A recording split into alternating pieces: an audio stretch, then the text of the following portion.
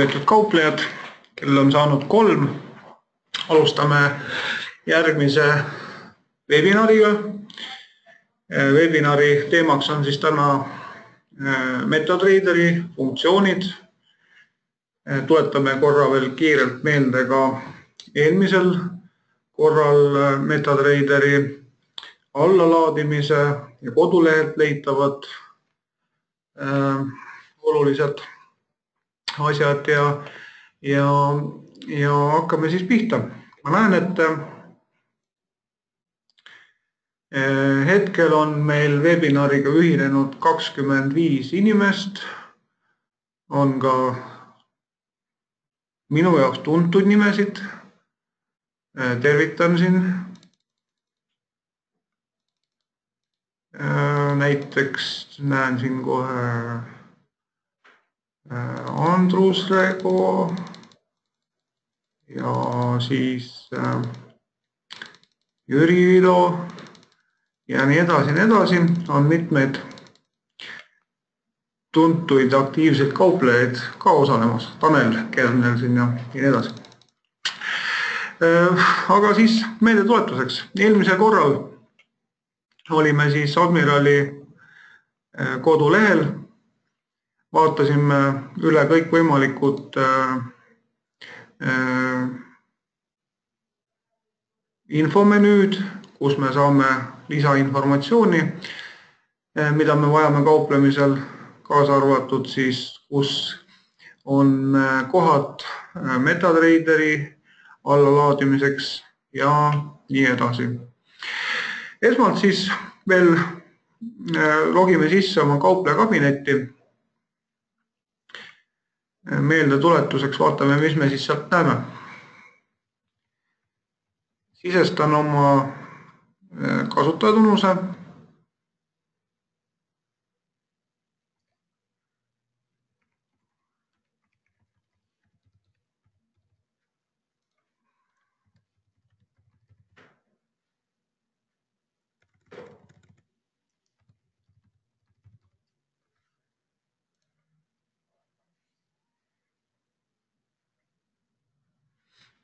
nii ja olen äh, kaupleja kabinetis sees.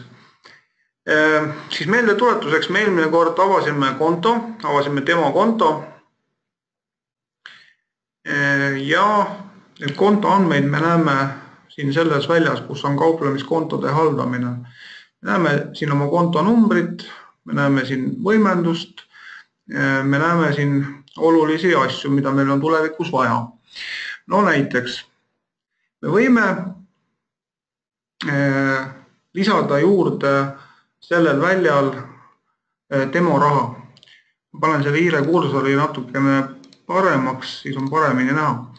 Eh, siin väljal on siis võimalik meil lisada demoraha, et kui me oleme suutnud oma demoraha ära realiseerida, ei ole tihtilugu võib-olla mõistlik ja vajalik uut demokontot avada lihtsalt äh, võime siin siis äh, väga lihtsal äh, moel raha juurde lisada.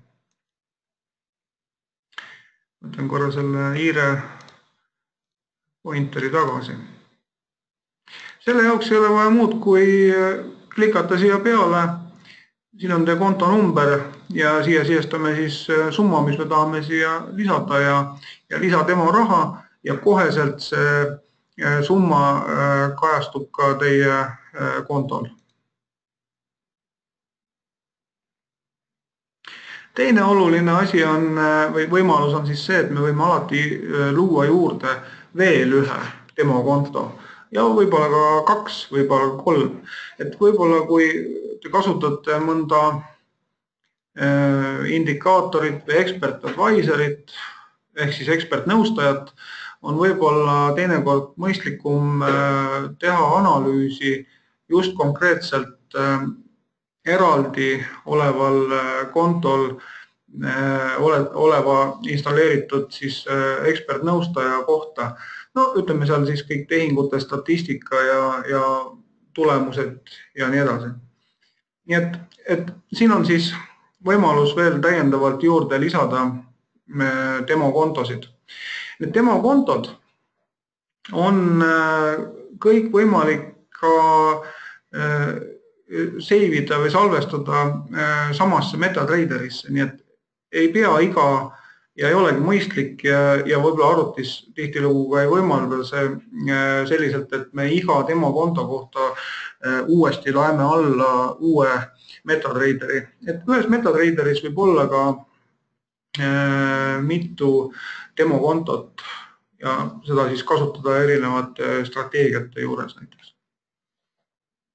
aga siin on veel üks niisugune tore koht, et, et on võimalik ka demoraha eemaldada tähendab siis seda, et ähm, tihtilugu võib-olla mõne ekspertnõustaja täpsemaks testimiseks äh, on äh, vajalik äh, kõikide riskide õigeks hindamiseks hoidagi seda deposiiti nii-öelda võimalikult madalamal või madalana, madalamal et, et siis tuvastada, kas, kas see ekspertnõustaja veab välja ja kas ta, kas ta käitub õieti. siis samamoodi on siin võimalik avada kohe kauplemiskonto, reaalne kauplemiskonto, nii et ega, ega see oma olemuselt ja sisult on ta sarnane siis selle demokontoga, et kui demokontoga on kõik asjad läbi proovitud, siis ega see eh, reaalse kauplemiskonto avamine paljuski ei erine, et vahe on seal lihtsalt selles, et, et tuleb äh, siis ka reaalselt raha sinna äh, peale kanda. nii, nii palju siis back office'ist, kaupleja kabinetist. Nüüd järgmisena avan juba MetaTraderi. üks hetk selle kiire pointeri.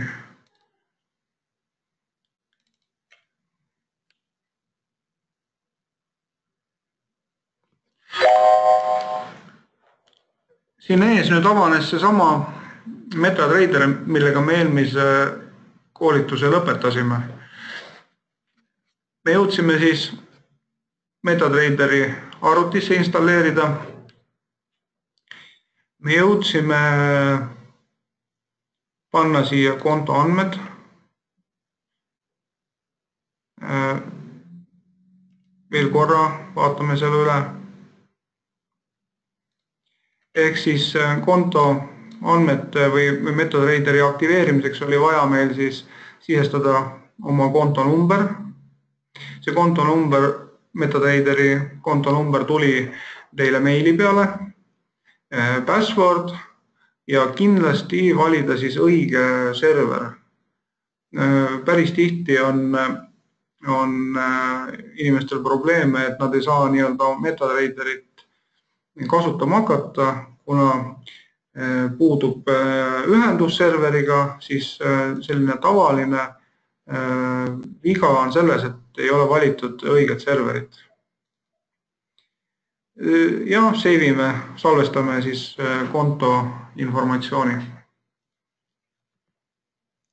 see, kas äh, MetaTrader on korrektselt ühendatud, seda me näeme siin all paremas nurgas. ma jällegi valin natuke parema hiirekursori, et seda me näeme siis siin all paremas nurgas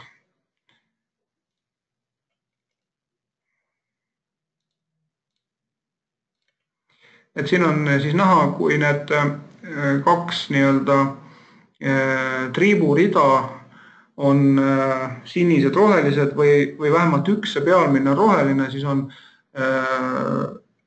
ühendus serveriga olemas. tähendab seda, et MetaTrader töötab. loomulikult visuaalselt ka, ega me näeme siin selles aknas ju selgelt, et, et toimuvad valuutakursside muudatused paaridel. et äh, siin on selgelt näha ka liikumine, nii et see on ka äh, järgmine üks võimalustest äh, selgelt näha, kas MetaTrader toimib ja, ja, ja töötab korrektselt. no loomulikult ka väiksemates ajahorisontides, mida me siis näeme siin, noh näiteks siis ühe minuti ajahorisondis on ka tihtilugu seda hinna liikumist tegelikult nagu ka visuaalselt näha noh, siin siis blingivad nii-öelda tehingu alustamise one-click funktsioon ja, ja siin me näeme ka juba hinna liikumist reaalselt. kui neid MetaTrader käivitamisel need asjad nagu toimivad, siis on selge, et MetaTrader on ühendatud serveriga ja, ja võib siis teha tehinguid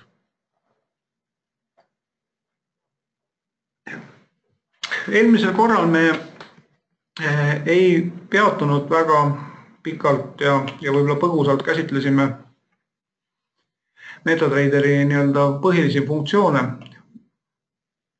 ma kõigest eh, teile nagu rääkida ei jõua ja, ja võib-olla isegi kõiki funktsioone ma isegi ei tea ja, ja paljud ei ole ka, ka otseselt nagu vajalikud, aga, aga põhilised asjad eh, ma näitan teile ette ja, ja käime nad nagu kiirelt läbi. esimene asi, teil on võimalus valida keel. valdate te siis äh, eesti keelt äh, või vene keelt või inglise keelt, mis teile paremini äh, sobib ja hingelähedasem on, siis siin on võimalus siis teha oma keelevalik. küll aga juhiksin nagu tähelepanu siin sellele, et enamus juhendid võib-olla õppematerjalid, informatsioon, siis ka ütleme seal võib-olla mingid indikaatorid või, või ekspertnõustajad on ikkagi üheksakümne üheksa protsendi ulatuses ikkagi nii-öelda inglisekeelsed. ja, ja, ja noh, kui, kui ikkagi vähegi nagu ingliskeelset Äh, taipu on, siis, äh, siis igal juhul äh, soovitan jättagi ta nii-öelda vaikimisi ja ingliskeelse valiku peale, sest et seda, seda on nagu tulevikus äh, ilmselt nagu vaja, see on oluline, et asjadest õieti aru saada. siis äh, kui keelevalik on olemas, siis tuletan veel meelde nii-öelda põhiaknad äh, see aken, millele ma siin juba tähelepanu juhtisin, on siis MarketWatch. selles aknas me näeme siis kõiki instrumente, millega on võimalik kaubelda, millega on võimalik tehinguid teha. võib-olla äh, aktsiad, noh, ma ei tea, Apple'id ja mis siin kõik on, Google'id ja et nendega üldiselt äh, kaubelda saab ainult teatud aegadel, sest äh, kauplemiseks peab olema USA turg avatud ja ja, ja ilmselt äh, tahtes siis neid tehinguid teha just nende nii-öelda aktsia instrumentidega, tuleb natukene põhjalikumalt äh, sinna tausta äh, süübida. aga kõik äh, valuutapaarid, need on kindlasti üle kahekümne, on siin äh, ees äh, nii-öelda esindatud ja nendega me siis siin kaubelda saame. Kui teil MetaTraderi avades mõni paar võib-olla puudu, on puudu ja te ei leia seda, siis siin on üks selline funktsioon nagu hiire parema klahviga, hiire parem klikk ja, ja siin tuleks siis valida selline valik nagu show all, näita kõiki, näita kõike. vajutades siia avanevad ka paarid ja ilmuvad siia nähtavale eh, sellised paarid, mida Äh, võib-olla algselt siin äh, näha ei olnud. nüüd on meil instrumendid olemas, instrumentide aken üldjuhul on siis tavaliselt äh, siin üleval vasakul nurgas, aga see ei keela ka teil seda instrumentide akent panna kuskile mujale, kus teil endale rohkem visuaalselt meeldib. mina küll soovitaks iseenesest äh, Äh, äh,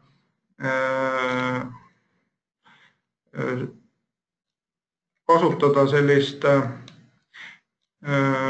tavalist ja traditsioonilist asukohta, nagu, nagu hetkel ta siin on.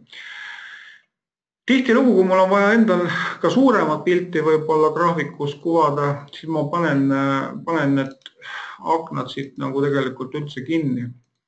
ja on mul ainult üks selge pilt siin ees, võib-olla mul on vaja lihtsalt äh, nagu suuremat ja puhtamat äh, töölauda. aga panen nad kohe tagasi, tagasipanekuks ja võib-olla vahel kaovad nad seal ära kogemata kuskil hiirega vastu minna. see on siis selles teises menüüs View Market Watch ilmusid välja siis kõik kaubeldavad instrumendid, View Navigator tuleb meil siis välja meie indikaatorite nii-öelda menüü valik, kus on siis ka meie kontoandmed. ja view ja terminal, terminal on siis see koht, kus me saame oma tehinguid jälgida ja me näeme oma konto seisu ja ajalugu.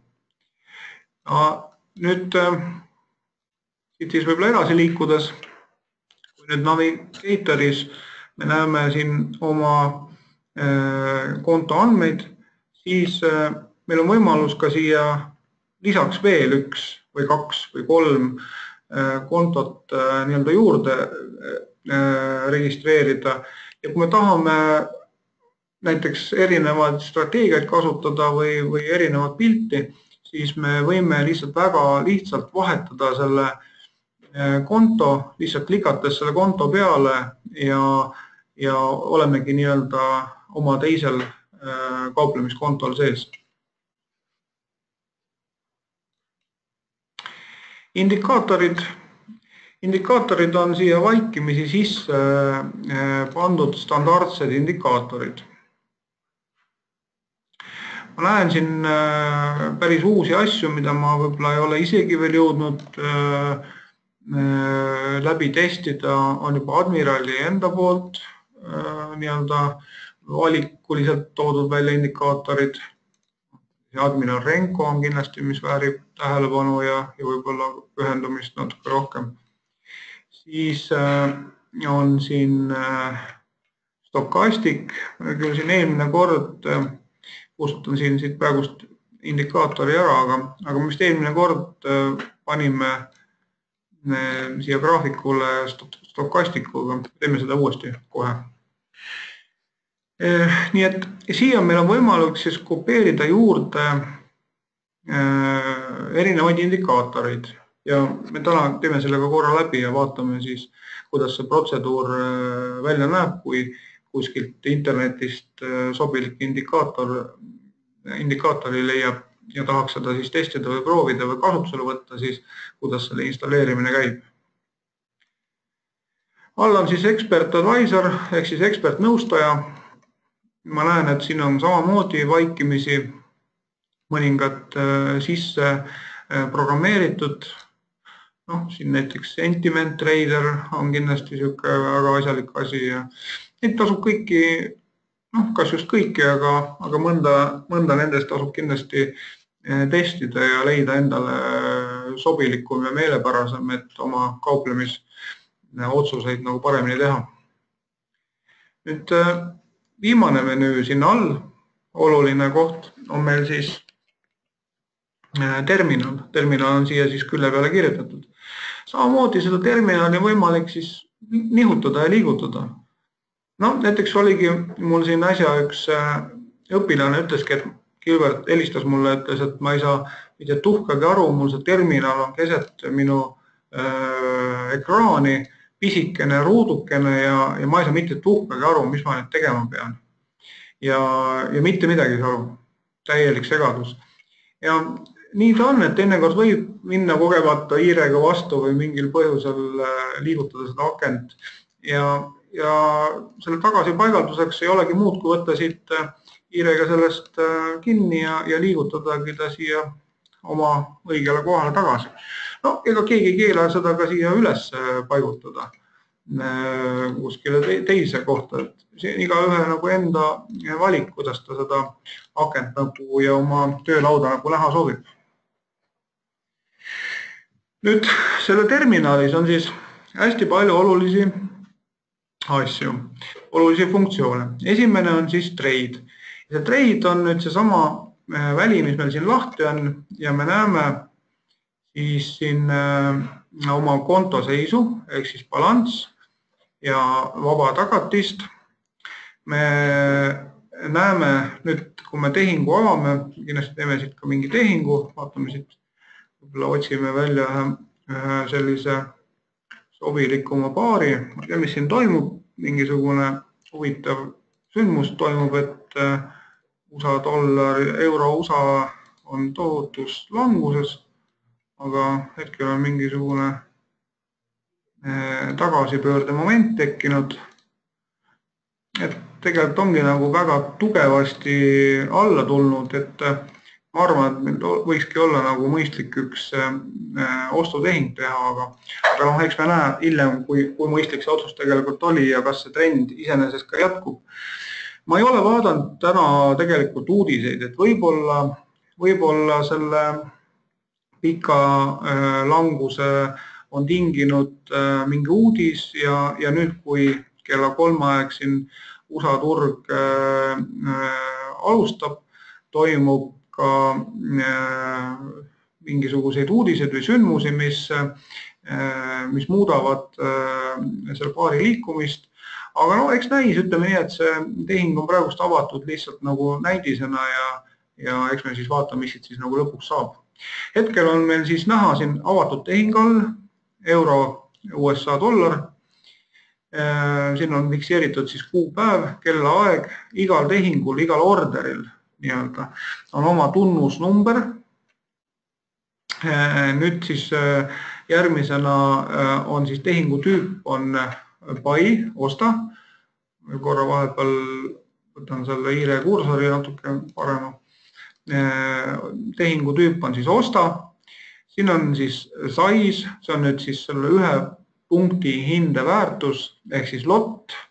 seda me näeme ka siin, seda me saame valida äh, ise vastavalt oma soovile, kas siis äh, suurendada või vähendada. loomulikult äh, tuleb siis silmas pidada siin oma portfelli või oma konto nii-öelda tagatise suurust ja vastavalt sellele siis mina soovitan nii-öelda ühe tehingu Äh, nii-öelda riskiks äh, võtta võib-olla üks kuni kolm protsenti. et äh, minu see ühe lotiga avatud tehing on lihtsalt praegust nagu näidistehing ja see võib-olla ei pruugi olla väga kooskõlas nii-öelda riski management'iga. aga ütleme siis nii, et, et igal juhul alustades kauplemist reaalse kontoga, noh, tuleb ikkagi hoida need riskid kontrolli all ja, ja, ja tähtis ei ole võib-olla isegi esimestel päevadel, nädalatel, kuudel see, et kui palju te nagu raha suudate teenida, vaid, vaid see, et, et te suudate kasumiga lõpetada siis mingi perioodi. Nii, järgmises väljal me näeme siis euro Äh, USA dollar on siis sümbol, millega me kaupleme. siin on siis äh, tehingu alustamise hind. meil on järgmises väljas stop loss ja take profit ja me näeme siin nulli äh, rida. me ei ole määranud hetkel ei stop loss'i taset ega ka take profit'i taset, aga me teeme seda kohe. Siin on siis praegune käesolev olev hind ja komisjon swap on on, äh, on siis äh, nii-öelda kulud, mis on seotud kas siis tehingu üleviimisega teise päeva või vahel võivad ka mitte need olla ka miinuses, vaid ka plussis, aga noh, need on suhteliselt marginaalsed, marginaalsed nagu numbrid. siin me näeme siis oma avatud tehingu hetkeolukorda ehk siis hetkel on siis miinus seitse, kaheksa eurot profit siin nurgas on rist, me võime alati selle tehingu sulgeda, olgu see siis kasumiga või kahjumiga. kui meil on tunne, et me sooviksime selle tehingu kinni panna, siis me seda saame siit nurgast teha, vajutada siis sellele ristile. Äh, nii, oluline asi siis oleks jah, võimalikult ruttu, kui tehing on avatud, võib-olla teha teatud analüüsid isegi analüüsi juba teha hilja, kui tehing on avatud, on tehing avatud. Paika tuleks panna siis take profit'i ja stop loss'i tasemed. selle jaoks on siis mitu võimalust. üks on siis hiire parema klikiga minna sellisesse menüüsse nagu modify or delete order. avaneb siin siis aken, kus me saame siis oma tehingut muuta. me saame siin paika panna siis stop loss'i tasemed näiteks käsitsi valides, ma ei tea, punktid, kakskümmend punkti. Ja me saame paika, vaikimisi panna ka siit äh, take profit'i tasemed, näiteks kakskümmend punkti ähm,. Pending order on, pending order on midagi muud. ühesõnaga äh, siit on võimalik äh, siis muuta ja, ja paigutada äh, käsitsi nii-öelda need äh, stop loss'i ja take profit'i tasemed küll aga panin hetkel selle kinni, minul meeldib seda teha palju lihtsamal moel.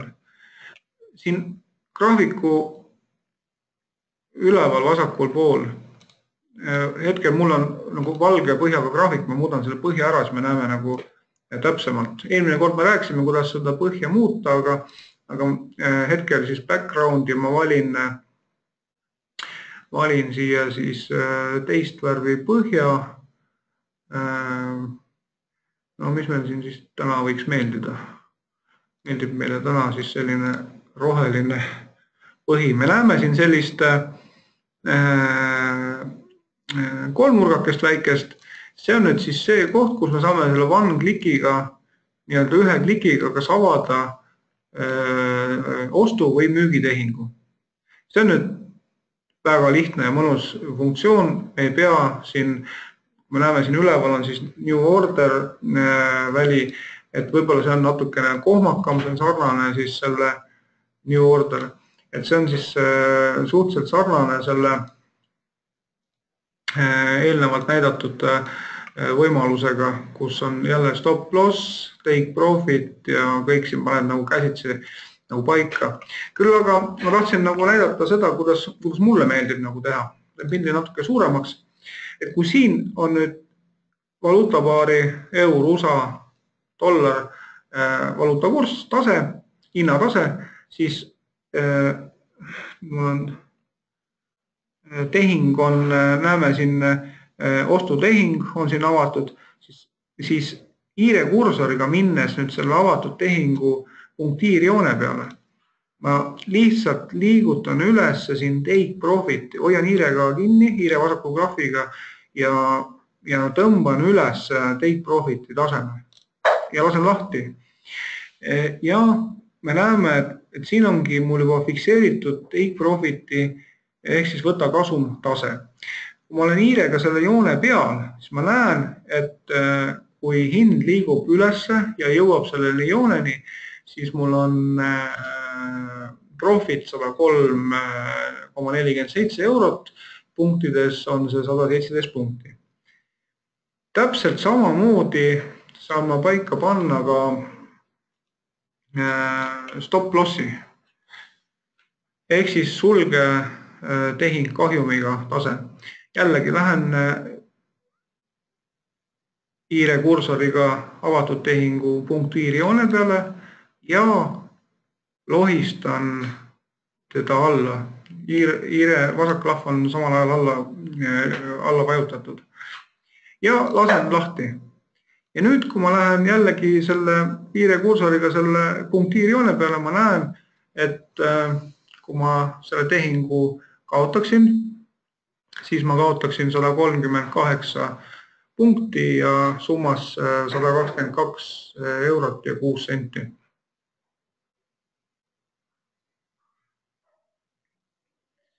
et nii lihtne ta tegelikult ongi, et äh, siin me siis näeme take profit'i taset ja siin me näeme stop loss'i taset. Take profit on TP, stop loss on SL.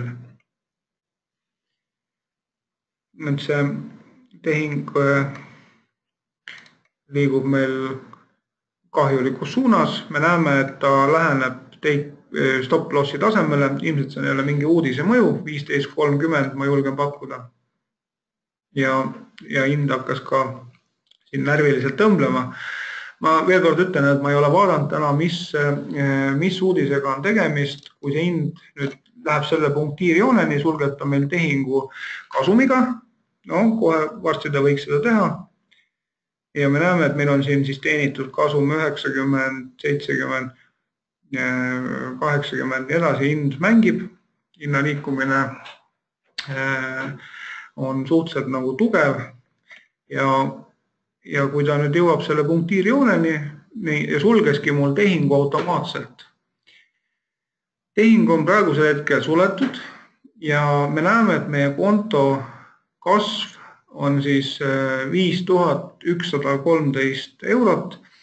see tähendab seda, et kui me alustasime kauplemist, oli meil viis tuhat ja kaheksa eurot ja kui me nüüd siit valime alt äh, account history siis me näeme ära äh, selle tehingu staatuse, mis sellega siis juhtus. juhtus siis see, et äh, tehing sulgus take profit'iga rohelise, rohelises alas, nagu te siin näete, äh, saavutas oma eesmärgi, jõudis, jõudis siis take profit'i tasemeni, sulges tehingu ja me näeme siin lõpus siis profit'it sada viis eurot ja kolmteist senti. seega käesoleva tehinguga, noh, kaua ta nüüd siin kestis, neli-viis minutit võib-olla, äh, võttis aega mm, see tehingu avamine ja tehingu automaatne nii-öelda sulgemine take profit'i, take profit'i taseme saavutamisel äh, viis minutit ja, ja meie selle tehingu nii-öelda profit, kasum on siis sada viis eurot me näeme ka seda siin, profit loss sada viis, kolmteist ja, ja minnes siis tagasi siia trade äh, menüüsse, me näeme siis, et konto balanss on viis tuhat ükssada kolmteist eurot. siin all väljas siis on terminalis, me saamegi siis vaadata oma avatud tehinguid ja sellel account history väljal me näeme siis oma tehingute ajalugu. kui me juba siin terminali väljas oleme, siis vaatame korra veel üle, millised äh, funktsioonid ja, ja mida võimaldab meile veel MetaTraderi see menüü. siin on äh, lisaks võimalik siis panna peale alerts ehk siis märguanded.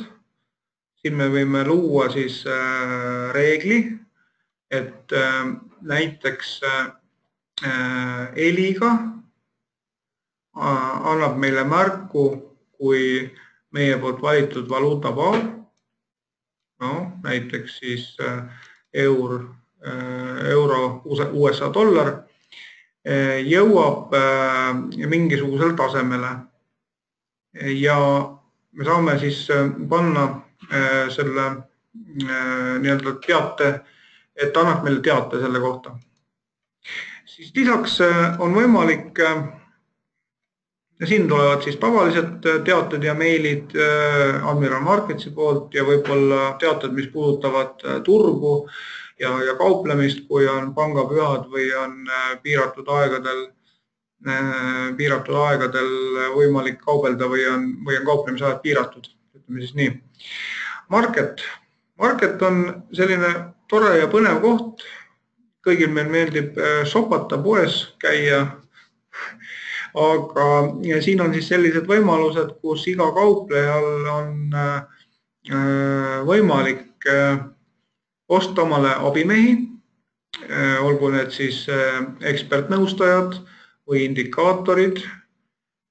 me näeme siin seda valikut, me näeme neid hindasid, ja, ja siia peale klikates me saame lugeda ka informatsiooni täiendavalt äh, selle eksperdi äh, kohta. Ja, ja seal on ka foorumid, kus teised kauplejad äh, omavahel arutlevad ja, ja räägivad oma kogemusi.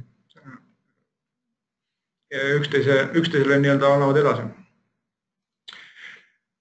Aplikatsioonid noh, sisuliselt täpselt äh, äh, sarnased asjad äh, võib-olla siis äh, äh, annavad äh, samamoodi kas, kas siis indikaatorid või, või, või aitavad kuidagi nagu rohkem aru saada, mis siis nagu turul nagu toimuvad.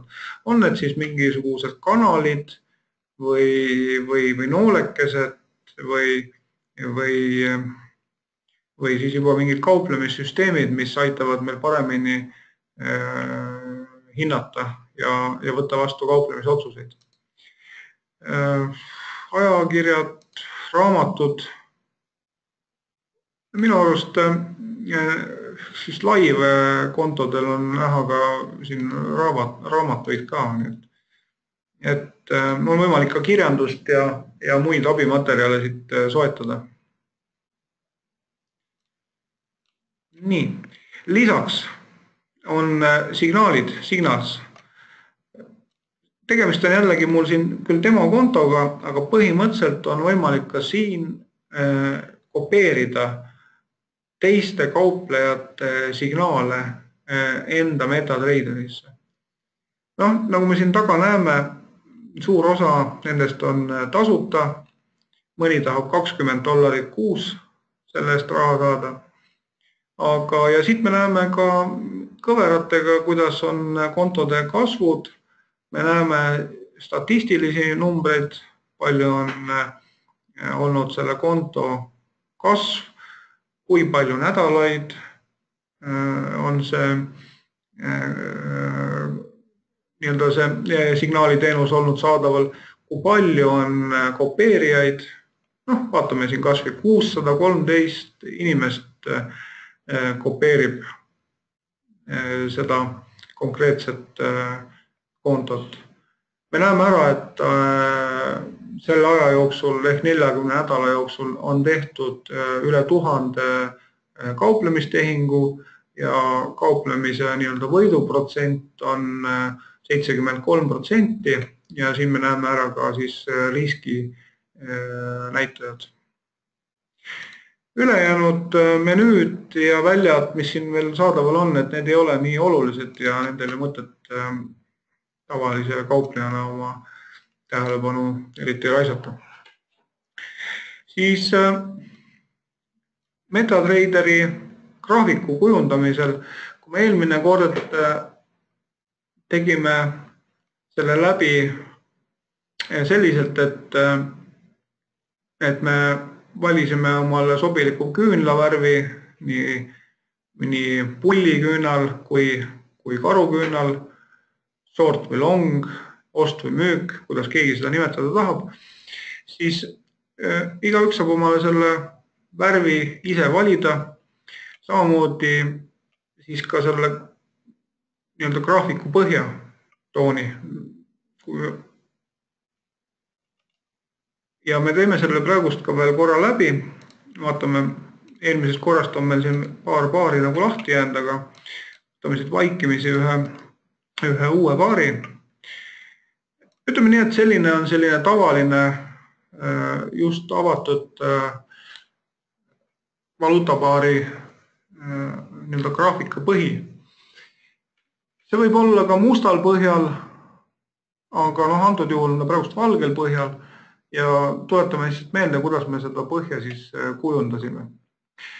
siin on vaikimisi siis nii-öelda ruudustik, paljudele see ruudustik meeldib, paljudele ei meeldi ruudustiku saab siit eemaldada äh, suhteliselt lihtsal meetodil, on siin olemas parema klahviga hiire, parema klahviga äh, menüül ja äh, ongi see ruudustik kaotatud. Siin olid siis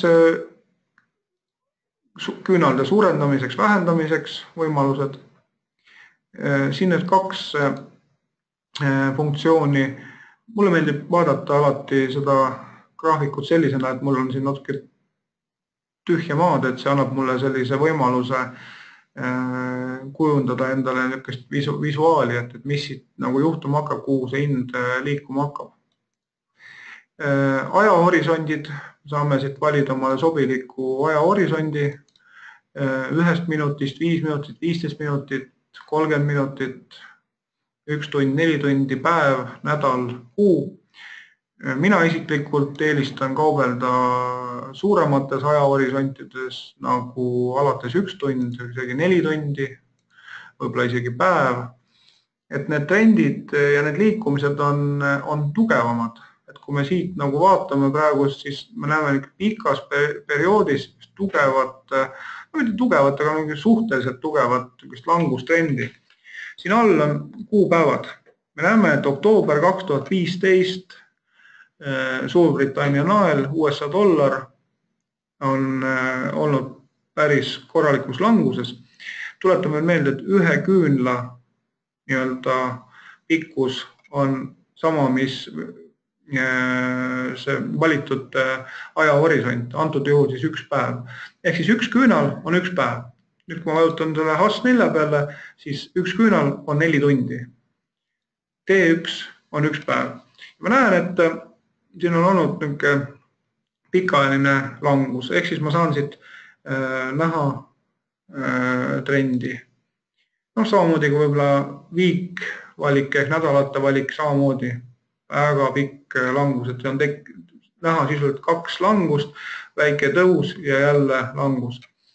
tihtilugu võib-olla, kui ma käsitsi analüüsin mõnda graafikut, siis ma ka nii-öelda paremaks visuaaliks kasutan siit jooni, mis on siis horisontaalsed jooned, vertikaalsed jooned, diagonaalsed jooned Äh, selle jaoks äh, vajutan selle noole peale ja, ja panen siit äh, selle nagu graafikule. noh, ütleme nii, et sain siit praegust nii-öelda ühe kanali joonistatud tõusutrendiks.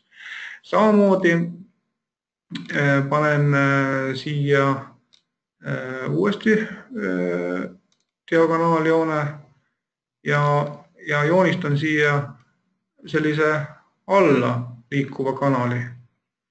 ma võin siit veel ühe kanali leida, näiteks paigutades siis diagonaaljooned siia, et äh, klikates siia peale, ma saan teda siis muuta. nii ja ütleme nii, et sellise käsi, käsitsi kauplemise juures ma saan endale luua äh, siis teatud visuaale kasutades siis äh, horisontaalset, vertikaalset ja diagonaalset joont. Ähm, ja veel siin üks hästi oluline funktsioon, mida tihtilugu tuleb kasutada, teen korra pildi natuke suuremaks, on siin see rist. ma täpsemalt siis näitan siin äh, see rist, ma pean silmas seda, seda risti siin ja sellega on siis sihuke äh, võimalus, et klikates selle risti peale tulen graafikule ja olen hetkel selles positsioonis ja ma tahan näha, kui palju on äh, toimunud siis langus punktist A punkti B ehk siis kiire klikk paremaga peale ja liigun alla Äh, sellesse punkti ja ma näen, et kakskümmend seitse äh, nädalat, esimene number on kakskümmend seitse, ehk siis äh, miks nädalat, ühe küünla pikkus, või tähendab, ühe küünla väärtus on üks nädal. Et kuna meil on nädala, nädala nii-öelda graafik, me näeme kakskümmend seitse nädalat, me näeme punkte teises väljas kui pipse on kaheksateist tuhat ükssada viiskümmend kuus ja viimane number näitab siis hetkel olevat äh, valuutakurssi. nii et sisuliselt on see üks niisugune väga tänuväärne töövahend, et ma saan alati mõõta aega ja siis äh, hinnaliikumiste väärtust. nii ühes kui teises suunas, üles kui alla. et äh, väga väga hea funktsioon ja, ja päris tihti tuleb seda kasutada. nüüd äh, veel selle graafiku nii-öelda muutmiseks äh, võin ära kaotada needsamad jooned, klikates joone peale, delete in, delete, delete ja kustutan ära. Äh, veel kord tuletan meelde, et hiire parema graafiga Eh, properties valiku alt saime muuta siis küünalde värvi ja taustavärvi. valime siis omale sobiva tausta, kollane. Mm, siis äh, äh, joon on hall näeme siit siis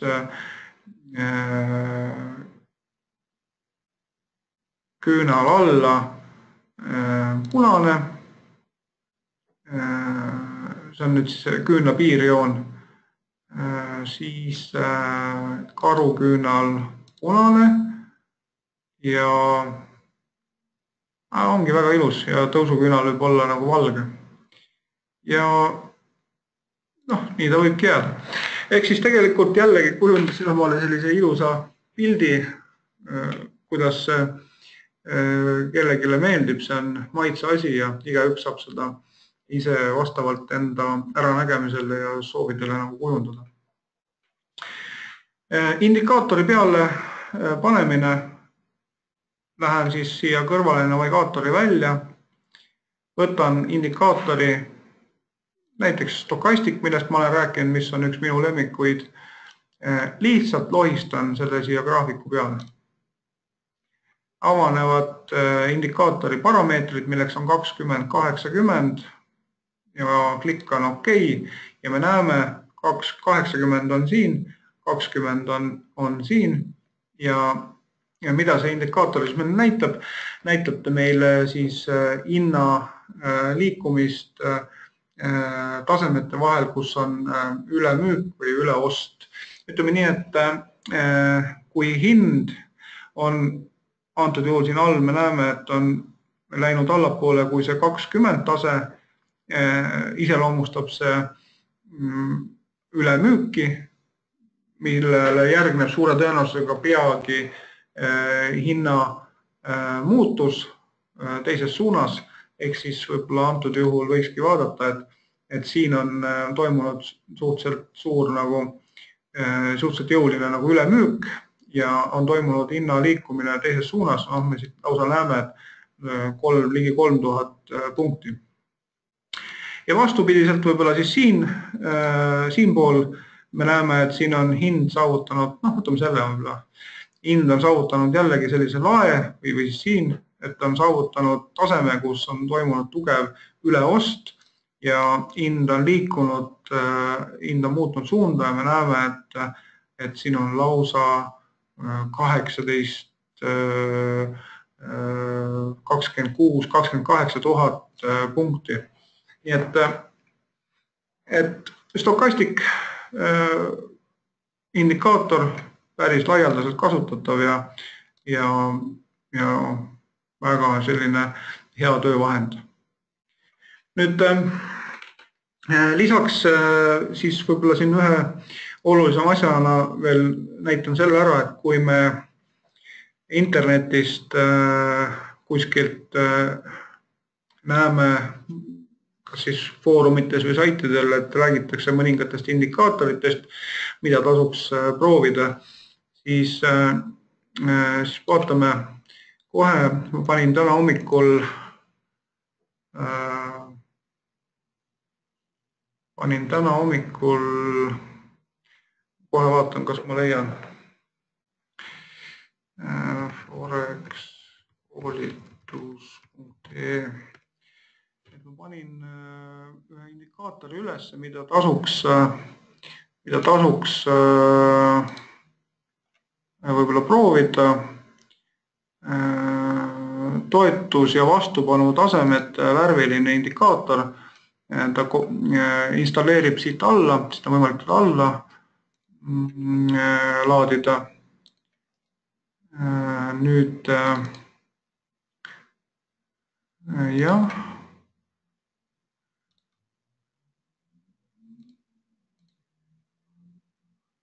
oleks ta siis äh, äh,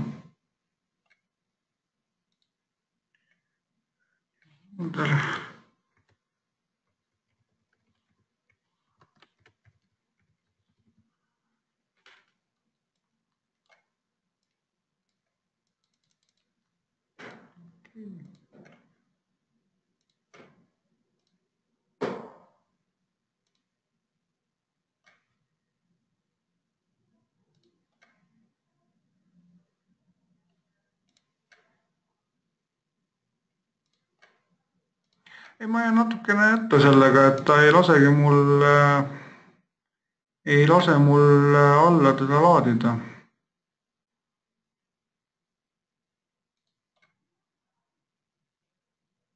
ei lase ka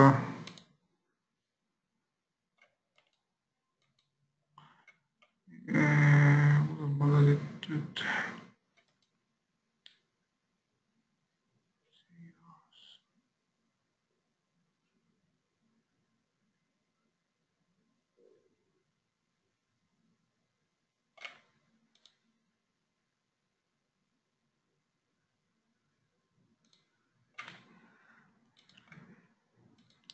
proovin selle indikaatori, kas ma sain ta, otsin ülesse.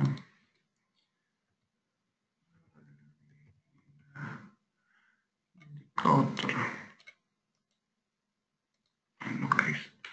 ehk siis äh, kopeerin äh, selle indikaatori, mida ma soovin äh, installeerida, panin copy, valisin file Open Data Folder, MQL4 kataloog, indikaatorid ja paste siia kataloogi. nüüd äh, uuendan, refresh indikaatorite valikut ja vaatame, kas meil ilmus see indikaator nüüd siia. jah, värviline support resistor indikatsioon. samamoodi indikaatori paigaldamiseks ma lohistan ta äh, graafiku peale. Äh, otseselt mingisuguseid parameetreid siin muutma ei pea ja, ja siin ta kuvabki mulle nii-öelda äh, väga tugevat värviliselt toetus- ja vastupanu tasemed. ehk siis on selgelt näha, et siin punane ülemine on tugev selline vastupanutase ja roheline on siis toetustase. ja, ja nii ta toimib ka kõikides nii-öelda ajahorisondi, ajahorisontidel täpselt samamoodi, nii nelja tunni oma kui ühe tunni oma. nii et, et selliseid indikaatoreid internetis on. kui teil midagi kuskil meeldib sobib, saate seda väga lihtsalt äh, MetaTraderisse alla laadida, installeerida ja, ja kasutada siis kauplemisel. kui mulle nüüd see pilt meeldis, see sobib mulle, ma tahaksin seda ka jätkuvalt tulevikus teiste paaride juures kasutada. noh, avan siit näiteks äh, Austraalia dollar ja USA dollar, avanes mul jälle selline äh, tavaline tühi äh, igav äh, aken, siis mulle sobib see põhi, ma saan selle salvestada omale äh, mallide või template'i kataloogi. selle jaoks hiire parema graafiga graafikul, template, save template ja ma panen selle template'ile nime. paneme siia nimeks siis äh, Admiral webinar. Admiral webinar ja save in ta ära. Nüüd on see äh, mall või see template mulle salvestatud ja ükskõik millise graafiku ma avan järgnevalt, lähen hiire parema graafiga graafiku peale, äh, valin template ja siin on mul siis olemas Admiral webinar. Äh, mall, vajutan selle peale ja ilmub täpselt seesama juba eelnevalt salvestatud põhi mulle siia uuele graafikule mul on lahti siin üks, kaks, kolm, neli, viis valuutapaari, ma saan neid alati sulgeda hiir parema, hiire parema klahviga. Close. ma saan neid äh, seadistada või salvestada omale siia ette äh, sellisena, et ma näen mitut erinevat äh, graafikut. Hiire parema klahviga, tile windows valik.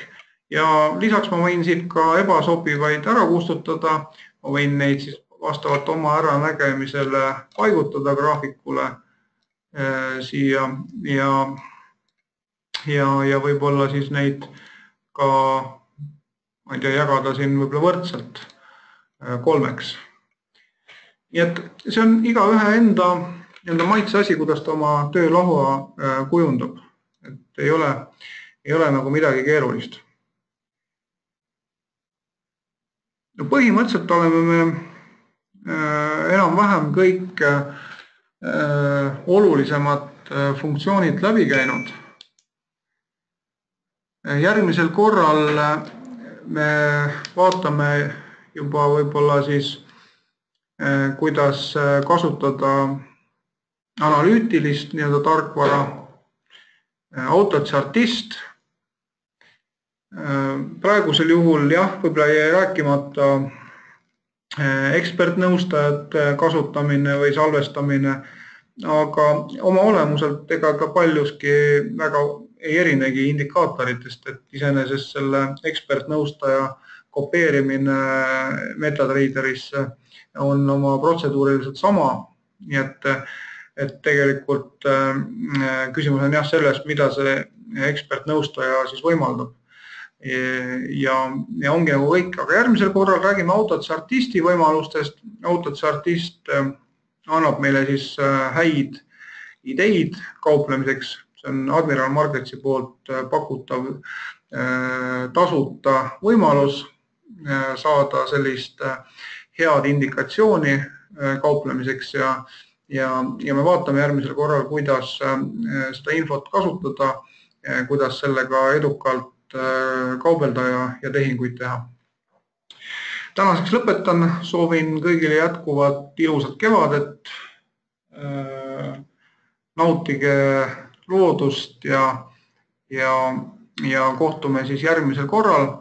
Admiral Marketsi kodulehel on äh, kalender äh, üleval, kuidas äh, ja millal järgmine koolitus toimub ning nii, ning kui nüüd on kellelgi veel täiendavaid küsimusi, siis võib saata neid siis kirjalikult oma kliendihaldurile või või, või ka noh, vajadusel mulle. nii et ähm, võib-olla siis järgmisel korral alustame äh, järgmise webinariga juba selliselt, et, et vaatame üle eelnevalt räägitu, vastame küsimustele ja, ja läheme siis juba ähm, äh, autotsartisti võimalustega edasi. et tänaseks kõik ja, ja veel kord siis kõike äh, head ja jätkuvat kevadet kõigile minu poolt kõik, nägemist